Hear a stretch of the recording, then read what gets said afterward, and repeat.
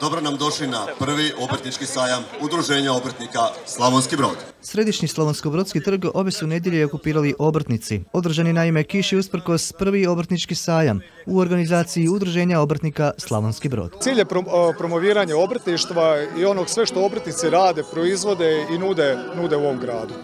Imamo li što ponuditi? Imamo i tekako. Svaki dan se otvara skoro jedan novi obrt. Evo tako ću reći, možda je to malo preambiciozno, ali otprilike se mjesečno, na mjesečnoj razini otvara puno obrta. I to ponajviše uslužnih, ali i proizvodnih djelatnosti, usprkos svim izazovima vremena u kojemu živimo i radimo.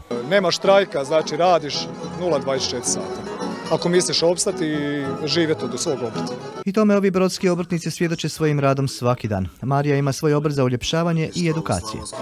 radim trepavice, obrve, šminkanja, dermapen, sad još malo i depilacije sa šećernom pastom i za to sve držim i edukacije. I eto. Koliko je to traženo? pa dosta, dosta. pogotovo šminkanja, pogotovo sezona svatova. Ima nas puno stvarno, ali nije problem, obzirom stvarno ima posla za sve. Frizera koliko god ima, mi svi imamo posla. Jer svi se moraju šišati, bojati i sve ostalo naravno u današnje vrijeme. Uljepšavanje nam je sve. No ima izazova. E, izazova ima svakako, znači s tim se nosimo svaki dan od e, razno raznih bolesti koje smo prešli, korone i sveg ostalog, pa i do nekih lijepih izazova kad se ide na natjecanja i tako. I kuharstvo je zanimanje koje će još dugo živjeti, zahvaljujući mladim snagama, pa i iz Brodske obrtničko-tehničke škole. Svi znamo da se jako puno traži kuhari i da je to jako bitno zanimanje, tako da mislim da se može bilo gdje naći posao. Jako je težak posao, ali mora se imati stvarno želja za to. Veseli me vidjeti volko obrtnika na, na Slavonsko-Brodskom trgu i definitivno raznolikost i bogatstvo obrtništva Slavonskog Broda i Slavonsko-Brodske županije. Otvarajući prvi brodski obrtnički sajam, predsjednik Hrvatske obrtničke komore iznio je i ohrabrujuće podatke. U ovom trenutku nas ima preko 106 tisuća obrtnika u Hrvatskoj, imamo intenciju rasta od nekih preko 7,2%. Obrtnici svojim djelatnicima čine radno sposobnog stanovništva 215 tisuća radnih mjesta osiguravamo, jedna vrlo impozantna brojka. I taj pozitivan trend kontinuiranog rasta preslikao se kaže i na Brodsko-Posavsku županiju. Ovdje je 169 ovaj, obrta više nego prošle godine u mjesecu svibnju. Ono što mene iznimno sretnim kao predsjednika Hrvatske obrtničke komore čini da je od toga 10% proizvodnih obrta i to je bogatstvo Slavonije, proizvodnja. I upravo su proizvodne djelatnosti najtraženije, no nedostaje radne snage. Obrazovni sustav ne prati potrebe tržišta rada. To nam se nažalost obilo u glavu i sad smo svjedoci da nedostaje radne snage u svim segmentima gospodarstva. Najviše to evo sada u ulazu smo u turističku sezonu turističkih djelatnika, ali i građevina, prijevozništvo i svi sektori gospodarstva definitivno vape za radnom snagu. U sektoru obrtništva ističe Kratofil plaće su unazad godinu dana porasle za oko 20%.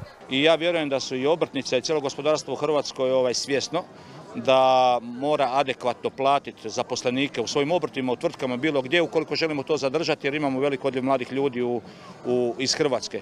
Ono što nas veseli, taj veliki porast novotvornih obrta, gdje mladi ljudi, većinom mladi ljudi, ovaj, uzimaju sudbinu u svoje ruke, otvaraju obrte, pokušavaju se okušati u svijetu poduzetništva i naravno na taj način osigurati egzistenciju sebi, svoje obitelji, svojim djelatnicima, što je dobro za razvoj društva i sredine u kojima oni žive i rade.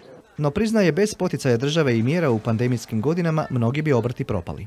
Bez obzira što smo mi politična asocijacija, ovo je vlada koja ima najviše socijalne osjetljivosti, prije svega prema obrtništvu i prema obrtnicima, znajući koliko je uopće važno u sektoru gospodarstva. Znači, zahvaljujemo vladi na potporama za samozapošljavanje. Svake godine je novi izazov, ali što se tiče nas kao obrtnika, već ste i sami čuli da smo mi najžilavije i da se mi brzo preusmjeravamo, prestrojavamo i prilagođavamo novim situacijama koje nam donosi ovo vrijeme. Ima li općenito u obrtima više žena ili muškaraca? Pa u našim uslužnim djelatnostima zapravo ima više žena nego muškaraca, a još uvijek ima ipak više muškaraca koji imaju obrt otvor. Nova vremena, novi trendovi. Ipak ima i drevnih zanata koji zahvaljujući entuzijastima još nisu izumrli. S nama je e, u društvu evo jedini lončar još u Slavoniji, gospodin Ivan Serdar. Evo, gospodin Serdar, e, kako vi to radite? Što zapravo radite s ovom glidom? Evo ja sad radim na lončarskom kolu, znači ovdje na našemu korzu da pokažem malo ljudima ove stare zanate i radim sad jedan unikat, jednu unikatnu posudu. I evo, što biste poručili mladim obrtnicima? Pa pos- poručio bi im tako da se drže ovi stari naši zanata, znači da ne damo da izumru zanati, sve više da se od toga uhvate i sve će biti bolje i bolje, će biti za naše ljude i za sve skupa, sav narod. Da i kovači još žive, svjedok je Drago Žambok. Njegov obrt ima tradiciju dugu 120 godina. Još uvijek djelujete i radite? Još uvijek. Ne radim ja više, ovi mlađi radi. Da, da, da, da. Oni su četvrta generacija. A vi ih educirate? Ma ne, oni su već educirani. Sad znaju bolje od mene. Ima li u ovom zanatu još budućnosti? Ma kako nema, uvijek ima. Samo trebalo se prilagoditi vremenu i prilagoditi onim stvarima koje se mogu raditi. Znači, postoji, u knjigi sam napisao, rad, upornost i znanje. To troje zatvoriš, riješio sve probleme.